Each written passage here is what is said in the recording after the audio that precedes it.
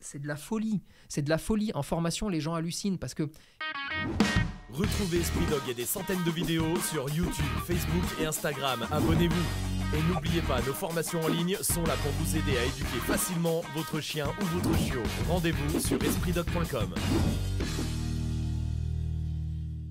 vient le cas de figure de l'apprentissage de la vie humaine. Parce qu'en fait, c'est ça le vrai truc. Ouais. La vie humaine, d'accord, au milieu des humains, surtout en zone urbaine. Voiture, tout ça. Voilà, fait que on est obligé, en plus d'un chien qui te suit, parfois de mettre un rappel Hmm.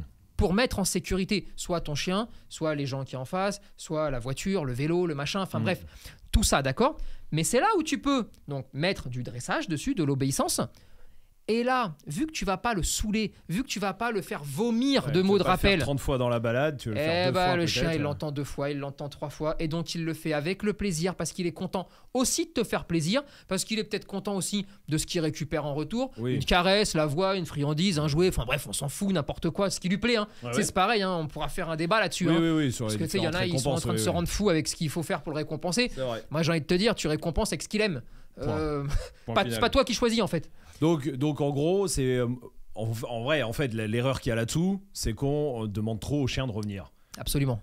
Et du coup, en fait, ça veut plus rien dire. Absolument. Ouais. Et donc, suivi naturel, apprentissage, du mot de rappel aussi. Oui, oui, Parce bien que c'est vrai qu'il y en a beaucoup qui pensent que ça, ça tombe du ciel. Oui, oui, non, non. Il faut quand même lui apprendre ce que ça veut dire. ouais. Parce que sinon, tu, tu le lâches dehors, tu dis au pied, ça veut rien dire pour le Oui, chien. oui, hein. oui, oui. D'accord? Donc il faut lui apprendre. Ouais.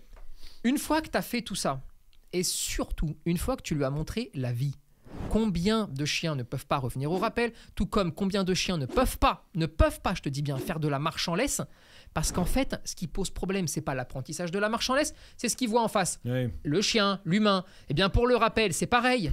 Si tu as un chien qui est complètement frustré, qui est complètement hystérique à chaque fois qu'il voit un chien, Mm. le problème va pas être ton rappel, va être que tu vas essayer de lutter contre l'environnement.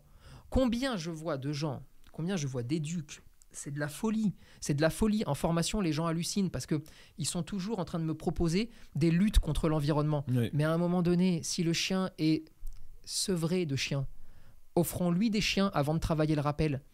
Noyons-le de chiens. Allez, tu veux des chiens, tu vas en avoir. Et quand ta frustration va baisser, c'est là où tu vas pouvoir commencer à mettre ce qu'on appelle de l'aléatoire. Et c'est là donc où tu vas travailler le rappel. Mais sinon, tu t'acharnes contre des choses où tu, peux- tu ne peux pas gagner. Ouais. Tu ne peux pas gagner sauf à être violent. Ouais. Et c'est ça le grand malheur. Combien de gens vont à l'éducation ou essayent d'éduquer leur chien en disant j'apprends rien, je m'en fous, enfin tu sais, ils font rien, mais juste quand je t'appelle, tu reviens. Eh bien, systématiquement, Mm. parce que tu n'as pas d'autre alternative si tu t'y prends comme ça, tu vas durcir les débats. Ouais. Alors, durcir les débats, il y a celui qui durcit les débats tranquillement, entre guillemets. Il va mettre une longe, il va mettre un Oui, truc, oui. il va faire revenir. Et puis, tu as celui qui durcit vraiment les débats Collier électrique. collier électrique, euh, collier étrangleur avec une longe, Ouais. euh, enfin euh, collier à pic, collier ce que tu veux, euh, tout ce que tu veux. Euh, Il y en a même qui font des jets de bouteilles, de canettes, de machin, enfin bref. On s'en fout. Mm. Mais tu vois un petit peu l'idée? Soit tu luttes contre l'environnement, soit l'environnement devient familier, devient intéressant et devient paisible. Et dans ces cas-là, tu apprends des choses au chien. Ouais. Mais on ne peut pas dissocier toutes ces choses-là. C'est impossible de les dissocier. Donc un chien qui vient pas au rappel, est-ce que la plupart du temps, je sais pas hein, Mhm. d'expérience, la plupart du temps c'est parce que pas parce qu'il connaît pas le rappel, c'est parce qu'en fait c'est l'environnement, c'est parce qu'il bah il a peut-être pas vu assez de chiens, ou il voit pas en tout cas assez de chiens, ou il voit pas assez de ballons, ou il voit pas assez de, Ou il n'est pas assez en liberté. ou il est pas assez en liberté. ouais. où il est passé en liberté, ou t'es pas vraiment, ou t'es vraiment pas intéressant. C'est possible aussi, Aussi. hein. Non, mais Mhm. ça arrive. Mm. Ça arrive que même c'est sans s'en rendre compte, bon bah des fois, ouais, t'es pas très intéressant. Bon bah dans ces cas-là, pareil, ça peut arriver. Ça peut arriver qu'il y ait un chien qui ait pas appris le rappel, Oui. ou il a rien compris, Oui, parce qu'on lui a mal expliqué, parce que bon bref, il peut y avoir beaucoup de choses comme ça. C'est la plupart du temps pour ces raisons-là. La plupart du temps. On compte sur vous pour partager cette vidéo, réagir en commentaire et vous abonner à la page Facebook, Instagram et YouTube. Et n'oubliez pas que nos formations en ligne sont là pour vous aider à éduquer votre chien et votre chiot. Dispo sur espritdog.com.